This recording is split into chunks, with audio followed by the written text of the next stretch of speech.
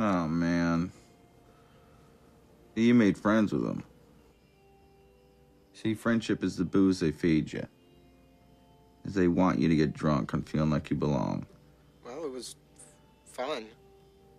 Because they make you feel cool. And hey, I met you. You are not cool. I know. Even when I thought I was, I knew I wasn't. Because we are uncool. Now, while women will always be a problem for guys like us, most of the great art in the world is about that very problem. Good looking people, they got no spine.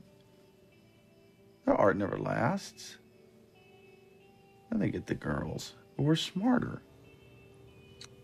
Yeah, I can really see that now. Yeah, because great art is about you know, guilt and longing and you know love disguised as sex and sex disguised as love. Hey, let's face it.